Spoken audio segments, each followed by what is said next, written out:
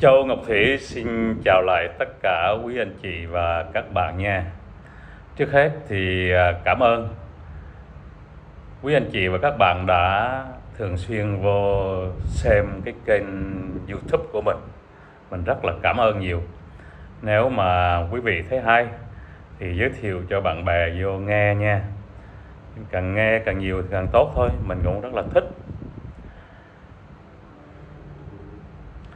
bây giờ, mình nói tiếp theo về vấn đề chuyện nhà cửa. Người việt chúng ta có cái quan niệm rằng là sống cái nhà và cái mồ. Nhưng mà người mỹ họ lại khác. Họ không quan trọng mấy về vấn đề nhà cửa. Nếu trừ trường hợp những người nào mà lương cao, giàu có lắm, thì họ mua nhà còn những người bình thường thì họ không có quan trọng. Với hơn nữa là họ thường hay giờ chỗ, đi chỗ này, chỗ nọ, tùy theo cái công việc của họ. Họ có công việc ở đâu thì họ đi ở chỗ đó. Nhiều khi họ ở cái thành phố này, họ đang làm việc như vậy, nhưng mà họ nghĩ rằng ô công việc của mình lương ít quá. Thì họ làm đơn, xin một cái tiểu bang khác hoặc là một cái thành phố khác. Nếu chỗ nào có cái hãng nào đó nó trả lương cao hơn, thì họ bỏ chỗ này, họ qua bên kia. Người Mỹ họ không có chung thủy, kể cả việc làm. Mà việc làm ở Mỹ thật sự không mấy bảo đảm. Vì vậy mà người Mỹ họ thích ở thuê hơn là mua nhà. Nhưng người Việt chúng ta lại khác, thích mua nhà hơn là ở thuê. Mua nhà trước hết rằng họ nghĩ rằng là 30 năm sau có căn nhà, lời căn nhà. Nhưng mà thật sự, khi mua một căn nhà mà trả cho đến 30 năm sau thì trả gấp 3 cái căn nhà mình mua lúc ban đầu rồi. Chứ không phải là đơn giản như mình suy nghĩ là cứ trả đi. Thay vì mình thuê nhà thì tiền nhà nó sẽ mất. À, nó đi luôn. Còn mình mua nhà thì mình cũng trả tiền nhà nhưng mà trả ngân hàng nhưng mà sau đó là cái nhà của mình. Người Mỹ họ đã tính rồi. Kinh tế tư bản mà nó tính nó đem bằng máy điện toán ra nó tính mà. Nhà thuê thì trả cái giá tiền khác còn mua nhà thì trả cái giá tiền cao hơn thay vì thuê thì trả một nhưng mà mua thì phải trả một rưỡi hoặc là hai tùy theo căn nhà mình mua. Giá tiền mắc hay rẻ. Và người Việt chúng ta có cái tính khoe khoang thích nổ. À, cho nên thích mua nhà thích xe mới dù là mất nợ nợ nần chồng chất nhưng mà họ hãnh diện với cái căn nhà của họ hãnh diện với chiếc xe mới của họ, xe ngon của họ khi đi ra ngoài đường. Nhưng người Mỹ họ không quan trọng vấn đề đó. Họ không hãnh diện về vấn đề vật chất. Họ quan niệm rằng ai cũng có thể mua được căn nhà, ai cũng có thể mua được chiếc xe xe mới, xe ngon. nhưng điều quan trọng là lương hướng nó bao nhiêu và công việc của mình có bảo đảm hay không. Người Việt chúng ta khác với người Mỹ một cái nữa là người Việt chúng ta thích làm chủ. Cho nên khi ở Việt Nam cũng vậy, có căn nhà thì thay vì đi làm hãng xưởng gì cho mình, mở ra trước trước nhà, mở ra bán à, mì, bán bún, bán bánh mì, bán, nói chung là bán đủ thứ thì vẫn sống được rồi, không cần phải đi làm. Cho nên đi qua nước ngoài, người Việt chúng ta cũng thích làm chủ hơn là thích đi làm hãng xưởng. Nhưng mà giới trẻ Việt Nam sau này, nó thích đi làm hãng xưởng hơn là nó thích làm chủ. Bởi vì khi nó học ra có bằng cấp thì lương nó cao rồi. Nó đi làm thì nó có thời giờ để rảnh rỗi, nó đi giải trí, đi chơi, đi đây, đi đó. Còn làm chủ thì không có thời giờ. Một tuần 7 ngày, từ sáng đến tối, không có thời giờ để ăn, để uống, để đi chơi. Rồi bị nằm trong cái vòng luẩn quẩn. Cứ lo công an việc làm, cứ lo đếm tiền, rồi tới chết thôi. Dù tiền không nhiều, nhưng mà cũng cố gắng mua một căn nhà cho to, cho ngon. Dù chỉ hai vợ chồng, độc, hai vợ chồng son, hoặc là hai vợ chồng một đứa con, hai đứa con, nhưng cũng phải mua căn nhà cho tới 3 phòng 4 phòng, tệ lắm, phải 4 phòng 5 phòng. Nhà nhỏ thì trả tiền nhỏ, nhà lớn thì trả tiền lớn. Nhưng người Việt chúng ta có một cái tính toán như thế này. Họ mua căn nhà nam phòng, hai vợ chồng với hai đứa con. Mua căn nhà nam phòng, hai vợ chồng ở một phòng, hai đứa con ở một phòng hoặc là hai phòng, tức là ở ba phòng. Thì còn dư hai phòng bắt đầu họ mới đăng báo, hoặc là họ đăng trên mạng xã hội kiếm người tới cho cho xe. À, cho xe có nghĩa rằng là cho thuê lại hai cái căn phòng đó. Đôi khi là cho cặp vợ chồng son đôi khi là cô độc thân, cô gái, cô nữ độc thân, đôi khi là anh chàng độc thân.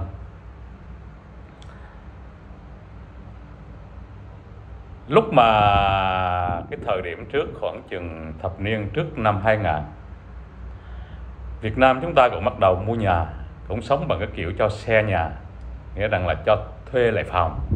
Cho xe phòng nhưng phải sao, cho xe nhà, tức là thuê lại những căn phòng trống trong nhà. Nếu mà cho thuê cặp vợ, chồng son không có, thì cho thuê độc thân độc thân nữ hoặc là độc thân nam nhưng mà ngày xưa độc thân nữ rất là ít. Có cô nào mà cỡ 18, 19 tuổi là có 5, 10 anh chàng vô tán rồi cưới đem về nhà ở rồi. Đâu có thời giờ mà độc thân như mấy anh chàng thanh niên độc thân. Như mình nói mình có chia sẻ rồi rằng rồi là ngày trước 10 anh 10 anh nhưng mà chỉ có một cô. Cho nên 10 anh đi tán một cô dù là cô đó xấu như chung vô diệm nhưng vẫn có giá trị. 10 anh vẫn tán một cô. Như mình cũng đã nói lúc vượt biến là đa số đàn ông đi nhiều hơn phụ nữ. Cho nên khi qua bên Mỹ qua bên các nước à, Tây phương thì đàn ông Việt Nam nhiều hơn là phụ nữ Việt Nam. Vì vậy mà kiếm một cô vợ Việt Nam rất là khó khăn. Rồi trở lại cái vấn đề mua nhà. Dư phòng thì gọi là cho cho người ta xe phòng. Đó là xe phòng, tức là tiếng Anh đó. Xe, tức là tiếng Anh, tức là cho người ta mướn lại căn phòng. Gọi là cho xe phòng. Việt Nam mình gọi là cho xe phòng cho nó vui. Cho nên mới có cái câu, cái thời điểm đó, khoảng thập niên 90 2000 mới có cái câu rằng là xe phòng, xe tình xe phòng xe tình nghĩa là sao? Hai vợ chồng mua căn nhà, có một đứa con nhỏ thì nhà dư hai ba phòng, hoặc là hai vợ chồng xôn mua căn nhà còn dư phòng, thì trả tiền muốn để, nếu mà không cho thuê những căn phòng trống đó, thì không đủ tiền để trả ngân hàng. Vì vậy, phải cho thuê những căn phòng đó để lấy lại một ít tiền trả vào ngân ngân hàng để còn dư một số tiền để mà sống. Mà khi vô ở chung với nhau thì lại là đụng chạm với nhau. Thường thì hai vợ chồng, có khi ông chồng đi làm ban ngày, vợ chồng à, người vợ đi làm ban đêm. Có khi ông chồng đi làm ban đêm, người vợ đi làm ban ngày. Dù là hai vợ chồng cùng làm một giờ dắt đi chăng nữa cũng có cái tình trạng xảy ra rằng là người thuê phòng người xe phòng dắt luôn cô vợ của mình. Bởi vì ở với nhau cùng trong nhà đi ra đi vô gặp nhau à, rồi tình ý với nhau. Nhiều khi đi vô cầu tiêu đi cầu đi tiểu không đóng cửa à, rồi bất chợt anh chàng vô mở cửa thì nhìn thấy. Rồi những cái chuyện đủ thứ chuyện để xảy ra. Cho nên mới xảy ra cái chuyện rằng là xe phòng xe tình. Ở một thời gian thì cái anh vô thuê phòng trong nhà dứt luôn cô vợ. À, dứt luôn cô vợ. Rồi một thời gian bỗng dưng một thời gian một hôm anh chồng đi làm về. Thấy cô vợ và anh xe phòng đã dọn nhà đi đâu mất tiêu. Không biết đi đâu, tìm đi đâu, giờ đi đâu mà tìm. Không phải như ở Việt Nam chúng ta. Ở trong làng, trong xóm thì đi tìm, đi hỏi đồng được. Còn bên Mỹ, chỉ cần dồn qua một cái nhà khác, dù là gần ở đó, cách nhau vài con đường, cũng không biết được người Mỹ họ có cái thói quen là nhà nào cũng đóng cửa, lúc nào cũng đóng cửa. Không có như Việt Nam chúng ta mở cửa toan ra, nhà này nhìn qua nhà bên kia nhà kia nhìn qua nhà bên này. Vì sao lúc nào cũng phải đóng cửa? Quý vị và các bạn cũng biết rằng là nước Mỹ là một cái nước hợp chủng quốc không ai có thể tin ai được hết cả.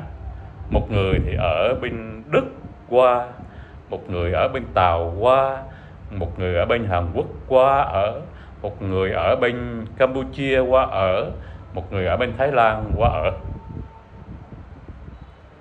Cho nên, không ai tin ai được cả và ai cũng sợ. Đó là lý do tại sao nhà nào cũng có súng mà lúc nào cũng phải đóng cửa. Không bỗng dưng, anh vô nhà người ta, dù nếu có mở cửa, anh cũng không thể nào vô nhà người ta được. Vô nhà người ta bắn là chết ráng chịu đó nha. Anh muốn vô nhà người ta, anh phải gõ cửa. Rồi người ta ra đứng nói chuyện với anh. Mở cửa người ta đứng nói chuyện với anh anh đứng ngoài người ta đứng ở trong. Nếu họ mời anh vô, thì anh mới được vô. Còn họ không mời anh vô, thì tuyệt đối anh không được bước vô trong khỏi cái cửa. Đó là một định luật, một cái luật bất thành văn. Khi sống ở mỹ, ai cũng phải hiểu như vậy.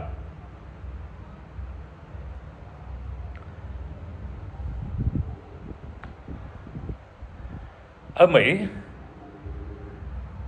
nó rất cưng thú vật. Không phải cưng thú vật, nhưng mà nó quý thú vật, nó bảo vệ thú vật. Bạn thấy một con chim, bạn lấy ná, bạn bắn con chim mà nó cháy xuống là bạn đi ở tù đó nha. Không phải đơn giản đâu. Ví dụ như một cái vùng đất đó, một cái công ty đó tới xây tới mua để xây nhà.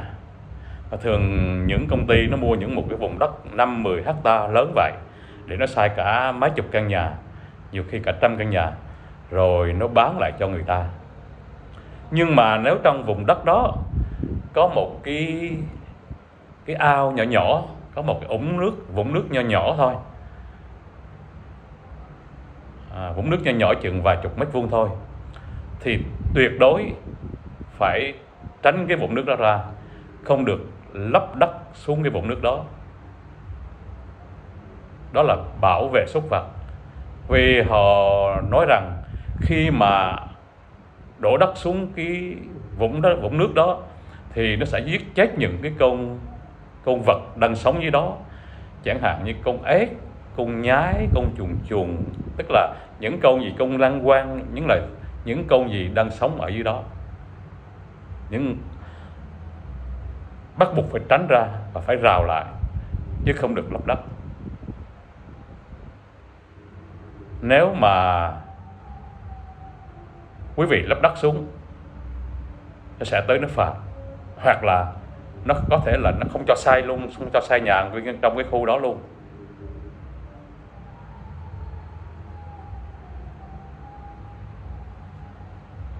Giống như khi đi câu cá, khi đi bắt cua cũng vậy. Việt Nam ta thì ngày trước, khi những người qua Mỹ không biết đi câu cá thì không có xin, không có trả cái giấy phép để mà đi câu cá. Hoặc là dùng lưới để bắt cá. Là sẽ bắt lên và đưa ra tòa và phạt rất là nặng. Bởi vì khi mà chúng ta dùng lưới để bắt cá, thì là con cá nào nó cũng phải vô lưới, rồi bị chúng ta bắt lên, hoặc là nó vô lưới nó chết. Có những loài cá chúng ta có thể bắt nó còn nhỏ được vì cái loài cá nó đã sinh sản rất là nhiều. Nhưng mà các các loài cá, nó phải có một cái kích thước nào đó chúng ta mới được bắt. Nếu câu lên mà đo con cá đó không đủ kích thước thì không được bắt. Nếu bắt lên mà cảnh sát nó trốn ở đâu đó không biết, nó rình ở đâu đó không biết, chúng ta vừa mang về tới nhà là cảnh sát nó có nhà trước mặt nhà để nó chặn, nó bắt chúng ta, nó phạt rồi nó hay đến cái độ đó đó. Cũng giống như đi bắt cua. Bắt cua thì chỉ được bắt cua đực, không được bắt cua cái. Để cua cái nó sinh sản. Nhưng mà cua đực cũng phải đúng cái cỡ nào đó mới được bắt, chứ không được bắt cua nhỏ. Cũng giống như bầu ngư à, bây giờ mình nói tới chuyện bầu ngư. Bầu ngư là đa số là nó ở dọc bờ biển Thái Bình Dương là ở cái vùng à, Monterey Monterey là cái vùng đó là Việt Nam chúng ta ở rất là nhiều. Ngày xưa những người mà ở Việt Nam làm biển thì họ qua theo cái vùng đó để họ làm biển. Monterey đó nó cách San Jose. Từ San Jose đi xe khoảng 65 cây 65 à, cái 165 à, mai hoặc là 110 120 cây số một giờ thì phải đi ít nhất phải hai tiếng máy mới xuống tới cái vùng đó. Trước đây bào ngư được cho bắt rất là dễ dãi. Người mỹ họ không có ăn chỉ có người nước ngoài người tàu người việt người campuchia người thái lan rồi thì họ mới thích ăn bào ngư. Chứ mỹ nó không ăn đâu nó không bắt thành ra bào ngư ở dưới biển rất là đầy rất là nhiều. Thất nghiệp có nhiều người thất nghiệp ăn bào ngư à, chuyên môn ăn bào ngư mỗi ngày. Bào ngư rất là mắc nha quý anh chị và các bạn. Một con bào ngư như vậy bắt về bán có thể 100 100 mấy đô la một con đó nha. Nhưng mà thất nghiệp đi ăn bào ngư. Tại sao vậy? Thì thất nghiệp thì về đi bắt bầu ngư để bán. Nhưng mà không bán được cho Mỹ Mỹ nó không mua. Chỉ bán được cho với người Việt chúng ta. Chẳng hạn như ở Monterey nó bắt. Vì những người ở xung quanh đó thì họ không có mua. Họ xuống họ bắt về họ ăn được rồi, họ không cần mua. Thì ở từ vùng biển đó người ta bắt, người ta mới đem lên những cái vùng nông thôn người ta bán bán bán cho những người Việt ở vùng nông thôn. Rồi họ mua những trái cây như lê nho cherry à, mọi thứ trái cây. Rồi về cái vùng biển họ bán lại. Đó là những người họ thất nghiệp hoặc là những người ăn xã hội hoặc là những người ăn tiền già tiền bệnh. Họ làm những cái công việc đó để họ kiếm tiền thêm mà không phải đóng thuế. Nói vậy, nhưng mà nó cũng không có đơn giản. Cũng có nhiều người việt chết vì đi bắt con bào ngư. Bào ngư thì nó nằm ở trong đá nó bám vô trong đá giống như con hào vậy đó. Nhưng mà muốn bắt nó, phải bắt đúng cái cỡ nó, tệ lắm, phải một gang tay. Nó lớn một gang tay mới bắt được. Còn bắt nhỏ hơn, cứ cỡ mà nhỏ hơn cảnh sát, nó cũng sẽ chặn lại và nó phạt. Nhưng mà cũng do sự trách chóc nhiều quá, hồi xưa cái thời điểm đó bắt rất là thoải mái bắt bao nhiêu con cũng được hết cả. Nhưng mà sau này, vì nhiều người đi bắt bầu ngư và chết nhiều quá, lý do tại sao chết? Vì những gần sát những cái gành đá, nó chừng có những cái cây rong rêu, nó cao lắm, mà sống nó nó à, ập vô ập ra. Nhiều khi những cái à, cây rong cao như vậy nó cuốn luôn chúng ta. Nó cuốn luôn thoát ra không được. Rồi chết. Cái thời mà bắt bầu ngư cũng có nhiều người Việt chúng ta chết vì đi bắt bầu ngư. Cho nên sau này họ mới ra luật là mỗi người một năm chỉ bắt được hai con thôi. Không được bắt như như dễ dãi như trước nữa cũng là do chúng ta gây ra, ha, do người Việt chúng ta gây ra. Rồi người Việt chúng ta là chịu trách nhiệm là mỗi năm chỉ bắt được hai con ví dụ như hôm nay quý vị bắt một con thì còn lại một con trong vòng một năm đó chỉ bắt được một con nữa thôi. Nếu bắt được hai con rồi, thì trong vòng một năm đó không được bắt nữa. Nhưng khi bắt con bào ngư đó ra, thì khi ra cái cổng đó quý vị phải đưa cho cái người mà gác cổng đó người ta khám xét rồi người ta mới dán mới lên một cái à, cái, cái cái cái nhãn là cái thì quý vị mới được đem ra ngoài khi cảnh sát lỡ mà cảnh sát nói chặn lại thì quý vị đưa cho cảnh sát coi rằng là cái con bào ngư này nó đã được chấp nhận ngay chỗ cái cổng đó rồi được có giấy phép được đem đi ra ngoài nó chặt chẽ đến như vậy. Lý do tại sao người mỹ họ rất là nhiều người mỹ vô gia cư nhất là tiểu bang cali và nhất là những cái thành phố lớn thành phố nhà cửa mát, những thành phố mà của tiểu bang dân chủ à, lãnh đạo thì người vô gia cư rất là nhiều. Vì sao vậy? Những thành phố mà có dân chủ lãnh đạo thì nó tăng thuế rất là nhiều.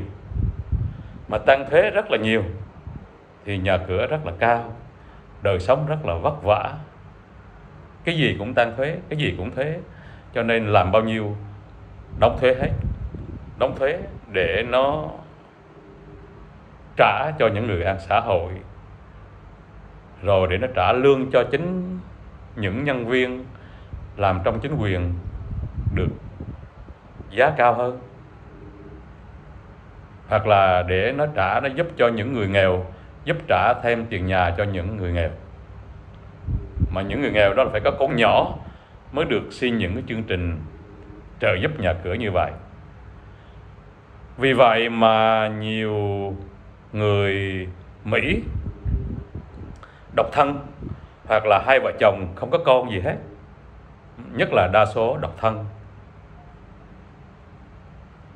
họ không có việc làm, hoặc là họ làm mà không đủ tiền để thuê một căn chung cư, một phòng để ở nữa. Buộc lòng, họ phải đi ở ngồi đường phố, ngủ trong xe, hoặc là thuê những cái căn nhà, căn hộ tồi tàn để cho vừa cho vừa cái túi tiền lương của họ. Mà nếu không đủ tiền để trả tiền nhà, thì làm sao đây? Người việt chúng ta thì đi thuê lại những căn phòng của những người việt với nhau, gọi là xe phòng để ở thì được. Nhưng mà mỹ, nó không cho. Nó đủ khả năng thì nó mua nhà nó ở, nó đủ khả năng thì nó thuê phòng nó ở. Nó không cho bất cứ một người lạ nào vô ở hết cả. Còn con cái của nó 18 tuổi, nó chỉ nuôi, đúng 18 tuổi thôi thì phải dọn ra ngoài ở. Làm gì thì làm. Lo đi kiếm việc làm đi. Rồi thuê nhà, thuê cửa ở. Chứ nó không có nuôi, không chịu trách nhiệm nữa. Cũng giống như cái văn hóa của người Mỹ. Vì ai cũng có việc làm, ai cũng đi làm. Cho nên, dù hai người đó đang yêu nhau đừng nói đi ăn những cái món, những cái nhà hàng sang trọng, chỉ đi uống cà phê thôi. Thì phần ai nấy trả. Phần cô cô trả, phần tôi tôi trả, chứ tôi không có bao cho cô được. Khác với người việt chúng ta ở cái chỗ đó. Người việt chúng ta chơi rất xa, dù bất cứ nơi đâu. Khi mời bạn bè hay là mời ai đi ăn, đi uống, thì người mời phải trả hết. Nhưng mà người Mỹ, ở Mỹ cũng vậy. Nó mời anh đi chơi, nó mời anh đi ăn. Nhưng mà ăn xong là tự anh anh trả, từ nó nó trả. Đưa ra, khi ăn xong là đưa ra, đi ví dụ như năm người đi ăn, thì ăn xong đưa ra năm cái hóa đơn. Phần người nào người đó trả. Mà khi vô ăn, người nào thích ăn muốn gì thì kêu món đó, rồi tự trả lấy chứ không ai bao mình cả. Bởi vì ai cũng có việc làm. Và ai cũng phải trả tiền nhà, tiền đực cửa, tiền nhà, tiền xe, tiền điện, tiền đủ thứ. Không có ai bao hai được hết cả. Nếu bạn nghĩ bạn không có tiền, tôi rủ bạn, tôi mời bạn đi ăn chung cho vui. Nếu mà bạn thấy bạn không có tiền, thì thôi bạn không có nên đi. Chứ đừng nghĩ rằng, ô, bạn mời, anh mời tôi thì anh phải trả tiền. Người việt chúng ta là chơi sang là chơi sang cái đó chứ đừng nói tới là người yêu. Người yêu thì khỏi nói rồi. Người yêu không thể nào để cho người yêu trả tiền được. Cái tự ái người việt chúng ta là nặng nhất là vấn đề tự ái. Mời người yêu đi chơi mời người đẹp đi ăn đi uống mà bắt người đẹp trả tiền thì kỳ quá. Mặt mũi đâu mà ngó. Rồi không những vậy mà người đẹp lại về khinh lại mình nữa. Đó, đó là cái tính cái ờ, của người Việt chúng ta như vậy. Cho nên nghèo mà sang là cái bản chất cái tính của người Việt chúng ta?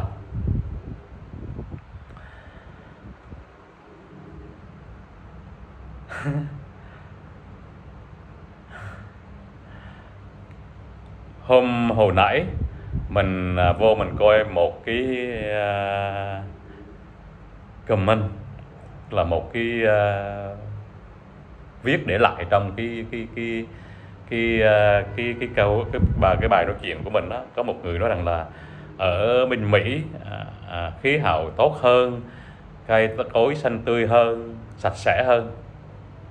Không đâu không đâu. Nhiều người Việt chúng ta quan niệm sai. Cũng nhiều người Việt cũng ở bên Mỹ về rồi qua bên Mỹ nói rằng ôi Việt Nam bụi bặm quá dơ giấy quá. Không phải. Tôi về tôi thấy Việt Nam đâu dơ giấy. Mỗi ngày người ta đi quét rác, dọn dẹp rác mỗi ngày. Nhưng ở Mỹ, một tuần nó mới đi dọn rác một lần, mới tới nhà nó đi dẹp, nó mới lấy cái thùng rác, nó đổ rác một lần. Chứ không phải như ở Việt Nam chúng ta mỗi ngày. Mỹ nó bụi hơn mà chúng ta không thấy, chứ không phải Việt Nam bụi hơn. Tại sao Mỹ nó bụi hơn? Mà bụi thì ở đâu nó cũng có. Mỹ nó bụi rất là nhiều bụi hơn. Vì đa số ở trong nhà đi ra là vô xe hơi rồi. Chạy trên đường xe hơi bụi nó dính trên kiến xe trên bên hông xe bên kiến xe bên sau lưng xe. Chứ nó đâu có tấp vô trong mặt của mình đâu mà mình biết nó bụi còn ở Việt Nam thì đi xe gắn máy thì mình thấy bụi nó vô trong bát à, trong mũi vân vân nhưng thử nghĩ, nếu ở Mỹ, quý vị đậu chiếc xe chừng 2-3 ngày thôi, không lái đậu ở trước nhà, hoặc là đậu trên đường 2-3 ngày là bụi nó phủ kín luôn cả chiếc xe.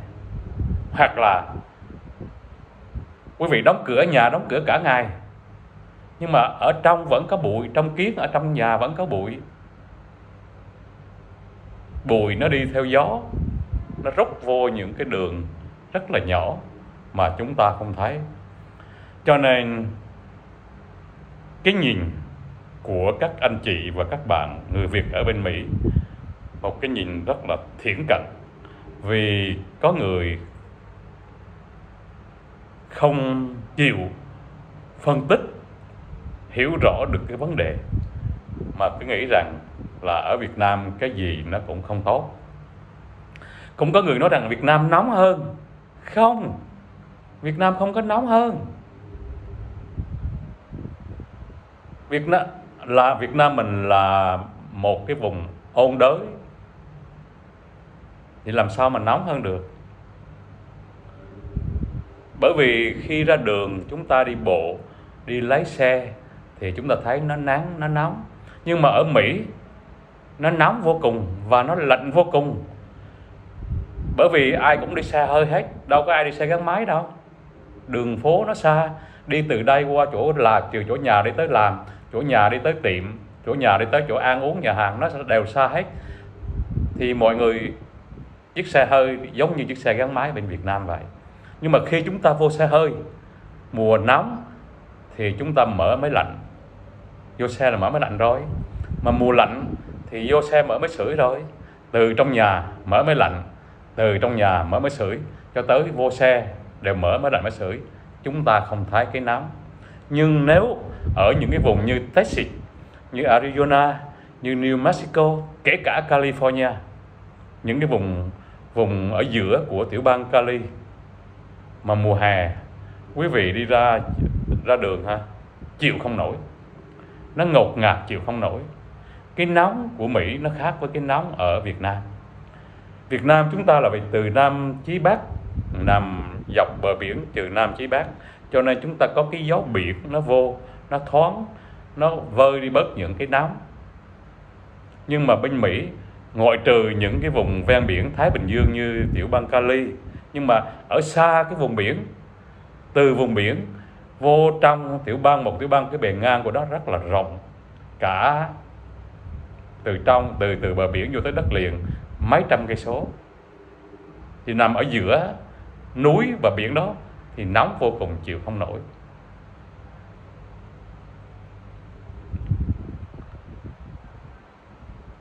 Ở nơi nào mà nóng nhất, mùa hè nóng nhất thì mùa đông sẽ lạnh nhất. Cũng giống như Canada, gia đình mình ở Canada, mẹ mình và mấy đứa em thì ở Canada, thỉnh thoảng mình hay đi qua Canada chơi ở cái vùng Calgary. Calgary là ở giữa của cái vùng Canada, tức là từ New Mexico đi thẳng lên. Còn ở vùng Vancouver hay là ở cái vùng Toronto Toronto là nó thuộc về biển à, Đại Tây Dương. Cái vùng đó là vùng miền Đông, gần New York là thuộc về biển Đại Tây Dương. Còn ở bên Vancouver là thuộc về vùng ở Cali, thì nó thuộc về Thái Bình Dương. Ở nước Mỹ, nó có tới hai bờ biển, một bờ biển bên miền Đông là Đại Tây Dương. Bờ biển bên miền Tây miền Tây nước Mỹ là Thái Bình Dương, miền Tây là đâu? Là Cali, là Thái Bình Dương. Việt Nam mình cũng là Thái Bình Dương. Bên kia bờ Thái Bình Dương là Cali, bên này bờ Thái Bình Dương là Việt Nam chúng ta. Thôi, mình chia sẻ tới đây.